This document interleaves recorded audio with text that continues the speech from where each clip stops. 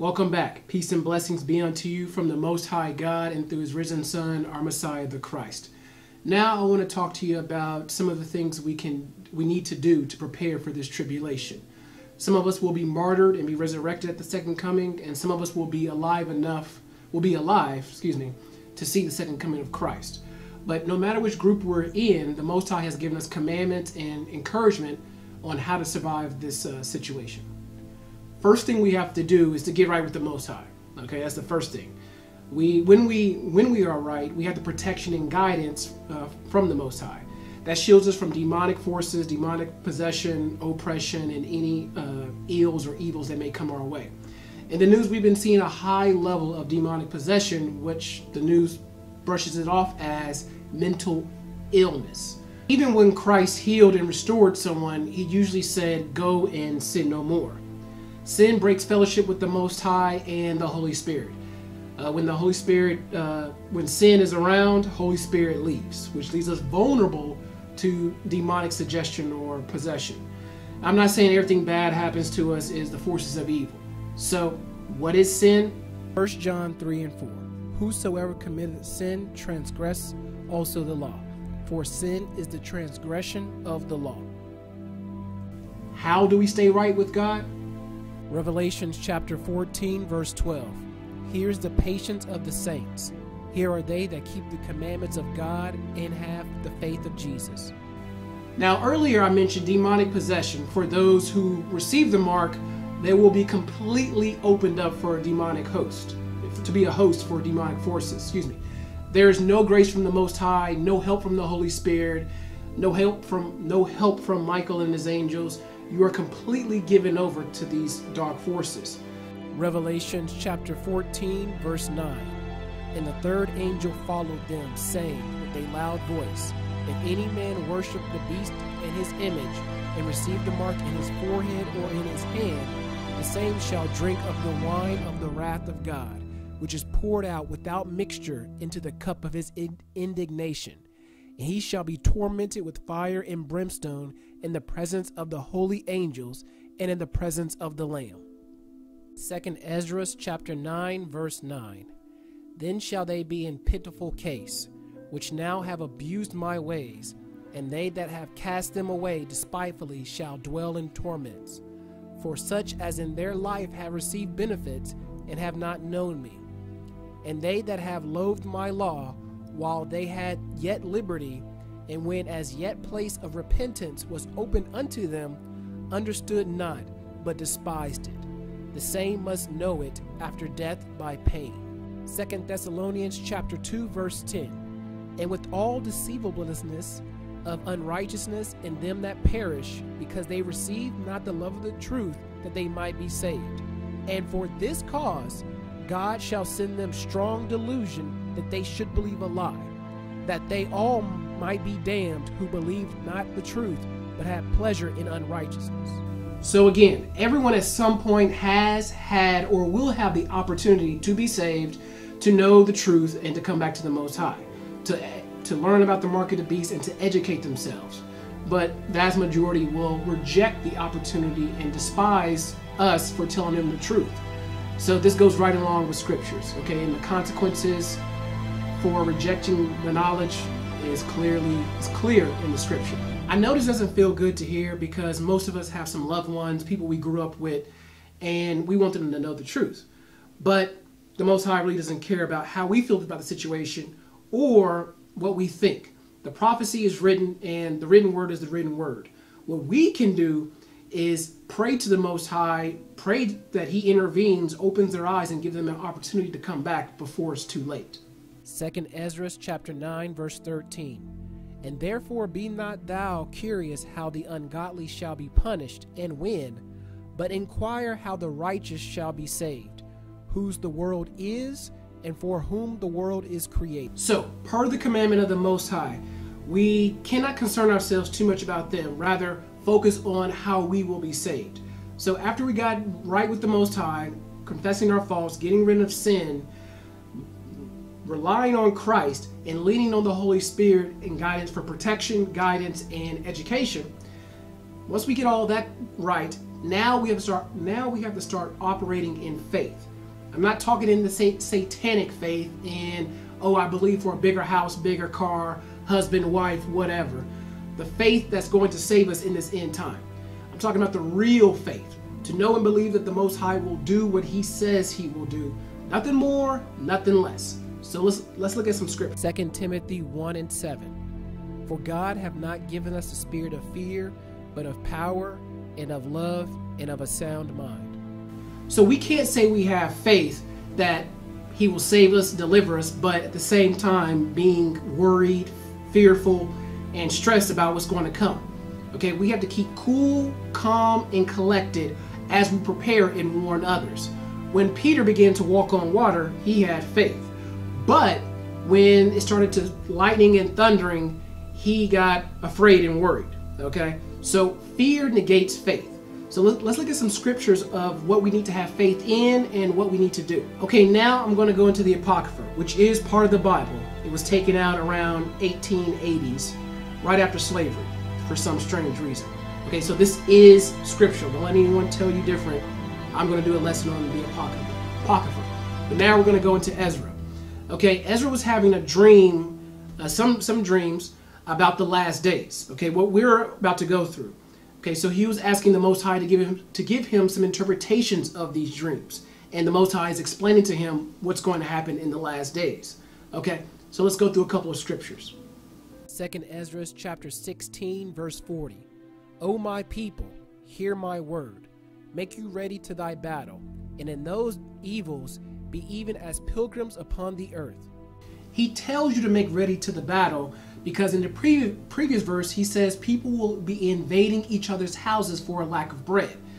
That should tell you that it's going to get physical. He tells us to be ready as pilgrims in the earth of that day. We need to be ready to move from where our comfort zone is in the physical uh, to another location. Christ said, if you're persecuted in one city, flee to the next. Now, as we're preparing spiritually, he tells us the mindset we need to have. Let's take a look. Second Ezra chapter 16 verse 41. He that selleth, let him be as if he that fleeth away. He that buyeth, as one that will lose. He that occupieth merchandise, as he hath no profit by it. He that buildeth, as if he shall not dwell therein. He that soweth, as if he should not reap. So also he that planteth the vineyard, as he shall not gather the grapes. They that marry, as they shall not get no children, and they that marry not, as the widowers. And therefore, they that labor, labor in vain. There you go. Based on your personal situation, you have been told by the Most High what mindset you need to have to make it through this. The scripture throws the entire prosperity message out the window. Now you see reasons why they don't want you to read this book? Because they can't teach the prosperity message, oh, money comes, don't worry for your, your big house and cars coming, when he tells you the mindset you have to have. And he tells you laboring in this world system, you're laboring in vain. Let's take a look. Second Ezra chapter 16, verse 46. For strangers shall reap their fruits and spoil their goods, overthrow their houses and take their children captives. For in captivity and famine shall they get children and they that occupy their merchandise with robbery, the more they deck their cities, their houses, their possessions, and their own persons, the more will I be angry with them for their sin, saith the Lord. So all this material wealth will be taken and enjoyed by others, the ones who join this world system. He said he's going to be upset with us as we continue to deck out our houses, get new cars, and buy all this material, take out loans on houses and cars, while we should be stocking food. We could be learning new survival skills. We could be planning for these emergency situations that will take place. Now, I'm not saying we should we shouldn't go out and enjoy ourselves. In the wisdom of Solomon, it tells us that we should enjoy our leisure time. So whatever free time you have, you want to make sure you take advantage of it. But we shouldn't be wasting our time, money, and resources on stuff that's not going to on stuff that's not going to help us when this goes down. Remember, other countries are already in the thick of this. Other countries are in the beginning stages of this, but when it comes to us, it's going to hit us hard. Again, we cannot operate in fear. Fear gives them power. It gives Satan, the fallen angels, and the demons power. So when we are in fear, we can't listen to the instructions of the Most High. So let's continue with some of his instructions. Second Ezra chapter 16, verse 67. Behold, God himself is the judge. Fear him. Leave off from your sins and forget your iniquities, to meddle no more with them forever. So shall God lead you forth and deliver you from all trouble. Here's another admonishment to get rid of our sins, because when we do, the Most High will be able to guide us and deliver us. Deliver us from what specifically? Second Ezra chapter 16 verse 70. For there shall be in every place and in the next cities a great insurrection upon upon those that fear the Lord. They shall be like madmen, sparing none, but still spoiling and destroying those that fear the Lord. For they shall waste and take away their goods and cast them out of their houses. The word mad is talking about a state of mind regarding insanity or extreme craziness. Remember, one of our curses was we be struck with madness and astonishment of heart. But let's look at this word mad. Uh, turn to 1 Samuel chapter 21. 1 Samuel chapter 21 verse 12. And David laid up these words in his heart and was sore afraid of Achish the king of Gath. And he changed his behavior before them and feigned himself mad in their hands and scrabbled on the doors of the gate and let his spittle fall down upon his beard. Then said Achish unto his servants, Lo, you see this man is mad?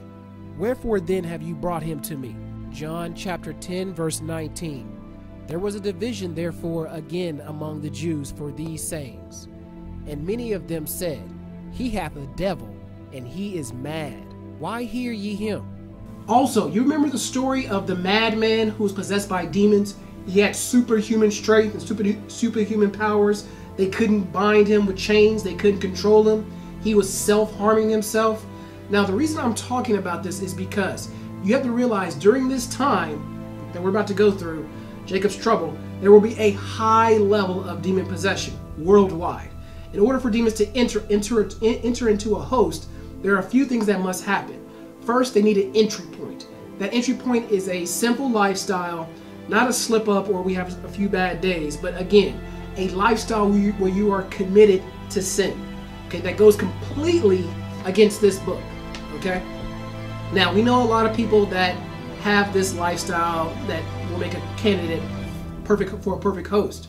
Now, with that with that lifestyle, then another entryway they, they would need is drugs, okay? Legal or illegal. Any drug that affects the mental state, okay? Because again, you're not level headed.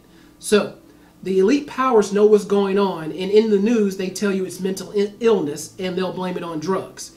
It's not mental illness, you're looking at demonic possessions. Okay, stay with me, and I'm going to tell you how this ties in for us to be prepared spiritually.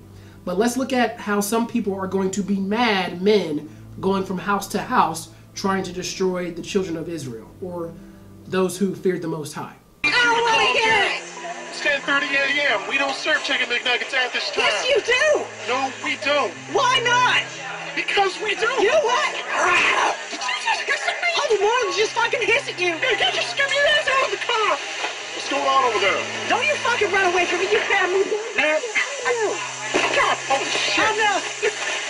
Don't make me assume my ultimate form. I will fuck you up. Just wait. I'm gonna come in and I'm gonna wreck you. Get the fuck back. Get the fuck back. I'm gonna try to swallow you. Look at the miss. Ma'am. Whoa, whoa, whoa, whoa, You whoa, know whoa, who whoa. I am? Ma'am. What? Close that shit. Ah! Man. Oh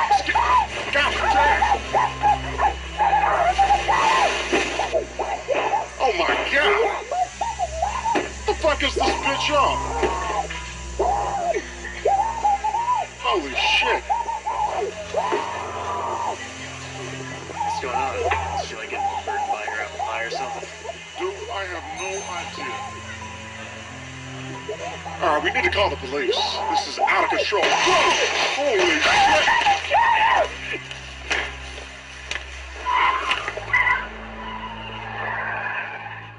In- In the last week alone, a couple of cannibalism and self mutilation cases could be linked to bath salts. Freddie's story is not unique as a former user, it's unique because he is a survivor.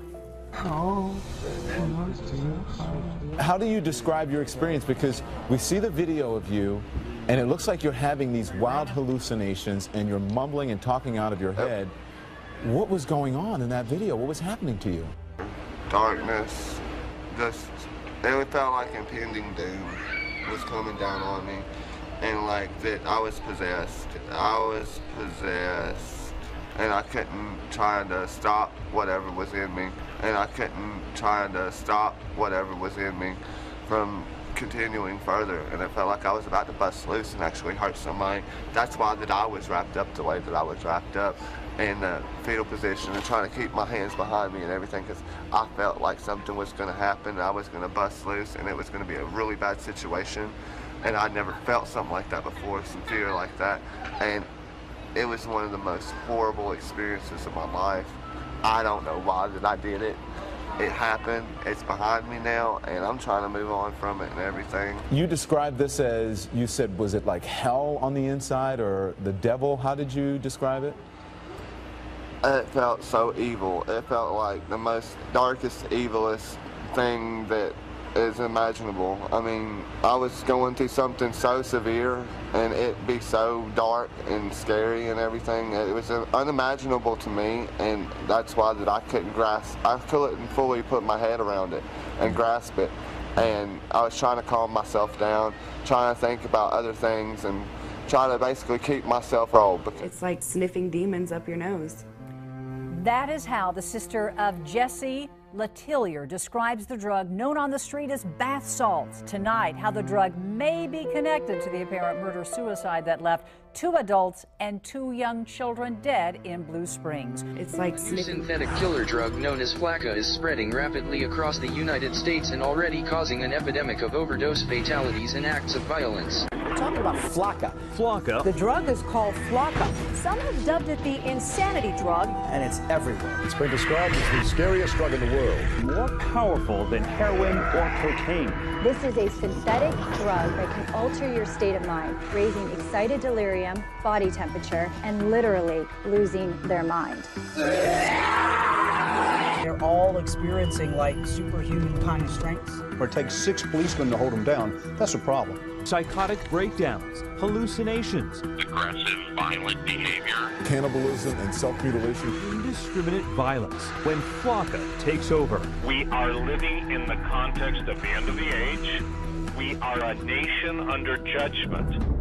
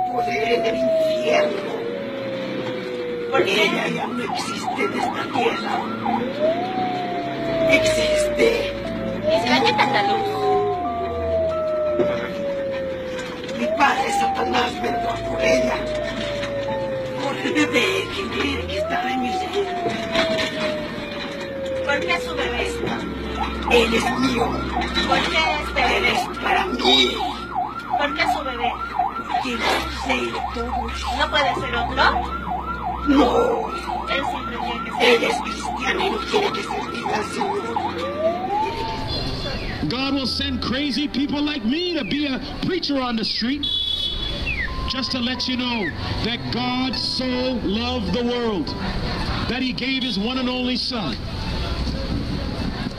I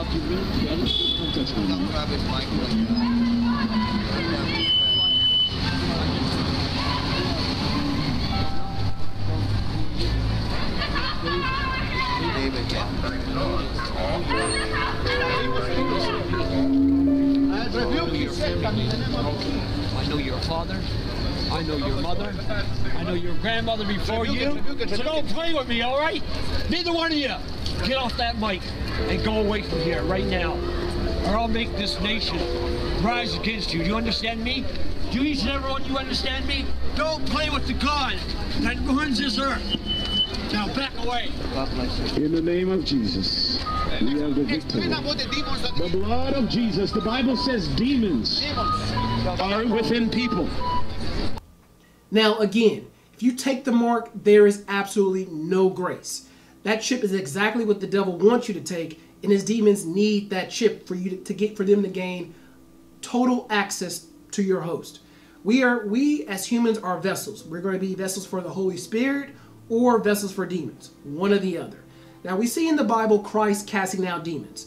We see his we see disciples, the apostles, and Paul casting out demons in the name of Christ. But this chip will completely negate that.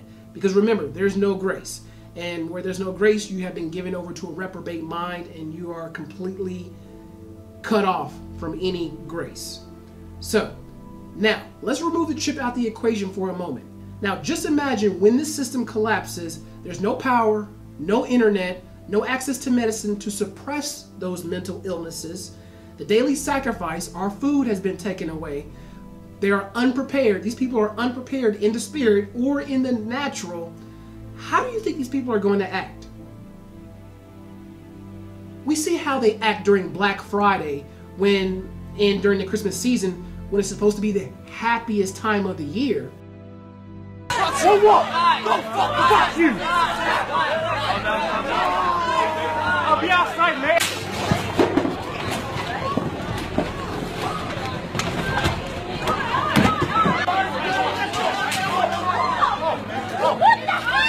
Hell?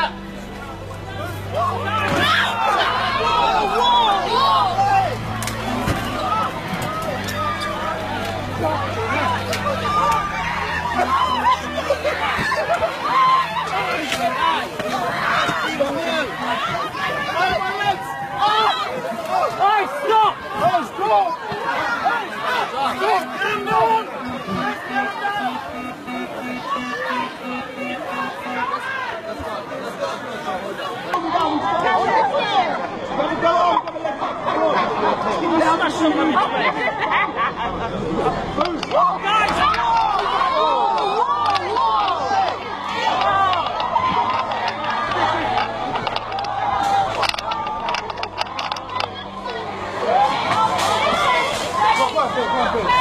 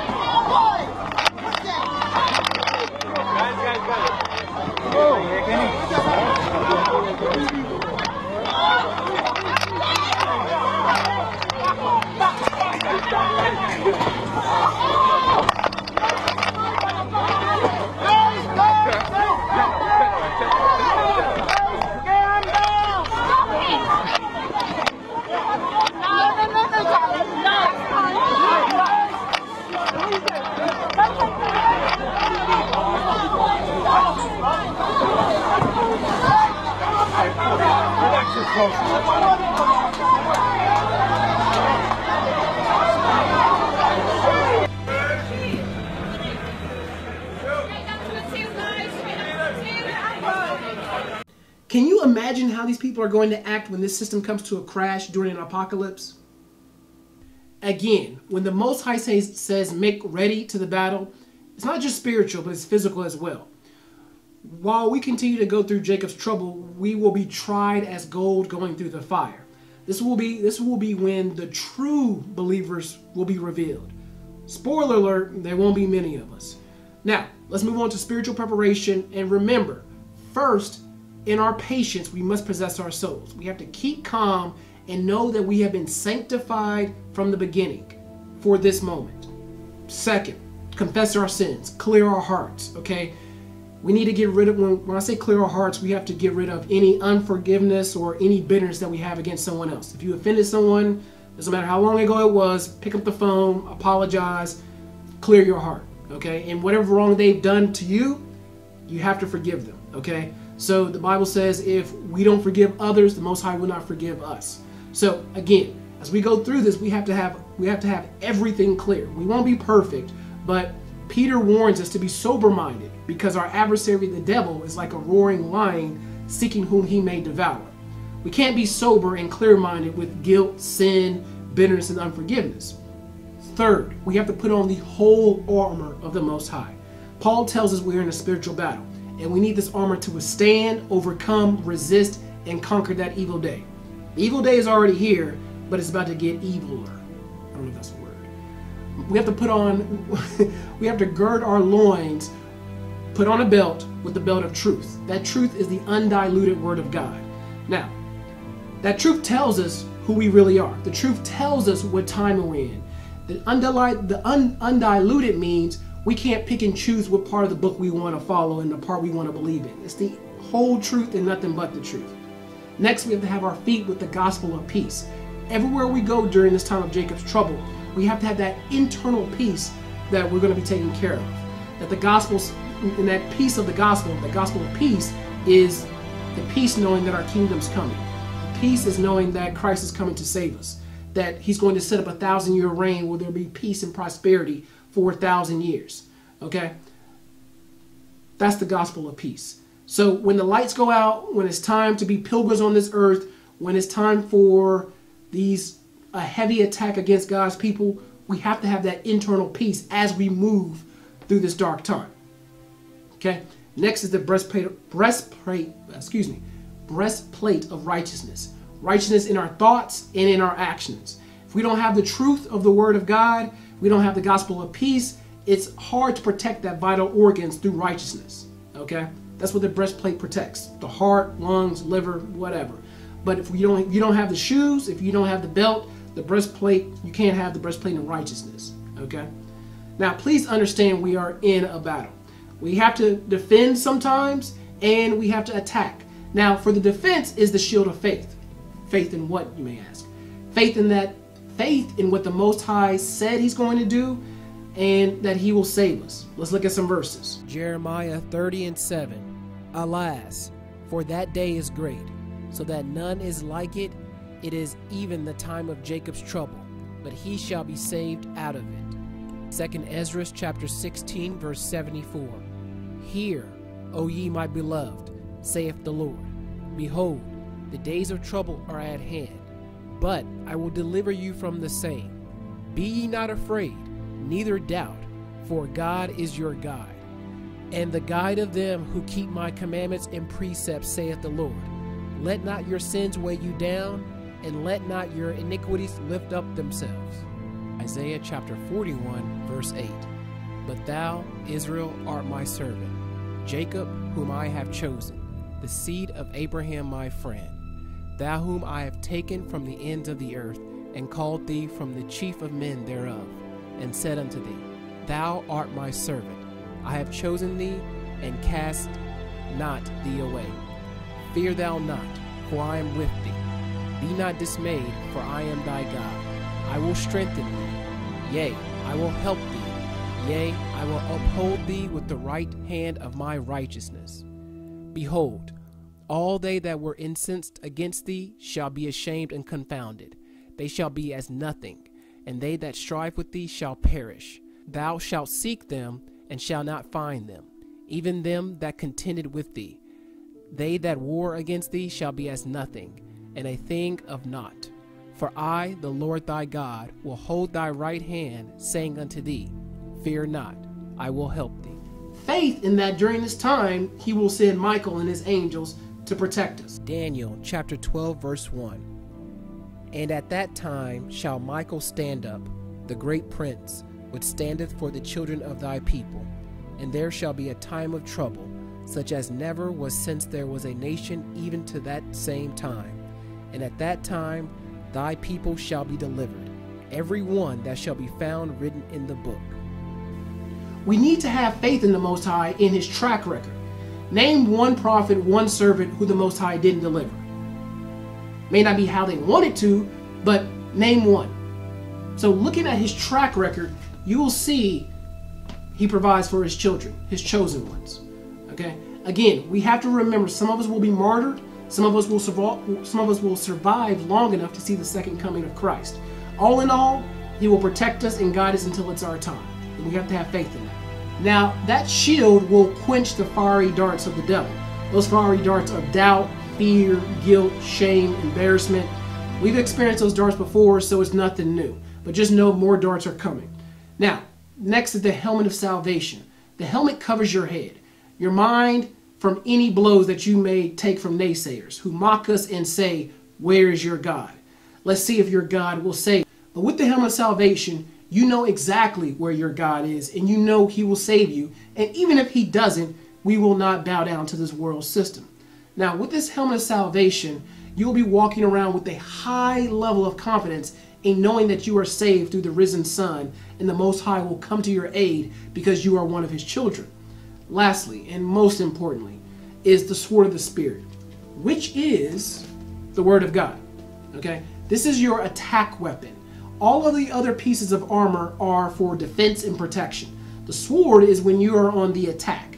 Now, when you're on the attack, you have to quote out loud the most the word of the most high. Now, this is where a lot of Christians get into trouble because they're used to playing defense with the shield. Okay? They can't handle or answer basic questions about the faith. They can't handle questions from Muslims, Egyptologists, other religions, atheists black conscious movements, so they just fall back on the shield and say, oh, I know what I believe, I have faith. Okay, but the sword will counteract, will counterattack their uh, their assaults and tear it down. So we have to have this sword as an attack weapon. Now, remember when Christ was in the battle with the devil, when he was in the wilderness 40 days and 40 nights, he combated him with the word. Not quoting poems, not quoting quotes from Facebook, not reciting some anecdote he heard from a, from a preacher, the actual pure word of the Most High. That's your attack weapon. So when we go through this tribulation, we need to memorize some scriptures for certain situations that are applicable because you know we can't say we will always have this physical book with us. And when you're in a battle, you can't say, wait a minute. No, no, no, no. You're not going to have that kind of time. So remembering some scriptures will be very good. Now, knowing all of this, let's just take an example for, for a moment. Knowing who you are, knowing what's coming, and knowing you have to prepare, Psalms 23 takes on a whole deeper meaning now, doesn't it? So, but let's take in a few more scriptures of how to um, build our attack weapon or sharpen our sword. Psalms chapter 91, verse 7 A thousand shall fall at thy side and ten thousand at thy right hand, but it shall not come nigh thee. Only with thine eyes shalt thou behold and see the reward of the wicked, because thou hast made the Lord, which is my refuge, even the Most High, thy habitation. There shall no evil befall thee, neither shall any plague come nigh thy dwelling. James 4 and 7. Submit yourselves therefore to God, resist the devil, and he will flee from you. Now, there are a million more scriptures you can use for any given situation. But we have to get away from all these poems and all these quotes and get back to the word of the Most High. So, this is the only thing that's going to fight off our enemy and keep us grounded in this fight. So, what you want to do is create a little journal of certain scriptures for a certain situation. So, for example, facing fear. Write down the scriptures that contain um, fighting fear, anxiety, worry. Write them down, memorize them, and add that part of your uh, arsenal. Okay, now, the word of the Most High is one of the weapons in our arsenal. We also have the weapon of prayer and fasting, which is extremely vital. We get some we get some awesome access from the heavenly realms when we fast and pray. Okay? So, I hope this was helpful. I'm going to end it right now. And the next lesson I'm going to go into some of the things we need to, we need to do in the physical to make it out of this. Okay. So faith without works is dead. So I'm going to go through some tips in the natural and the physical of us that we need to have or at least need to know to make it out of this. So I hope this was beneficial. Remember, keep calm, pray, read, fast, and remember you are one of God's chosen. Thank you. Have a good night, good afternoon, good day, wherever you are, and God bless.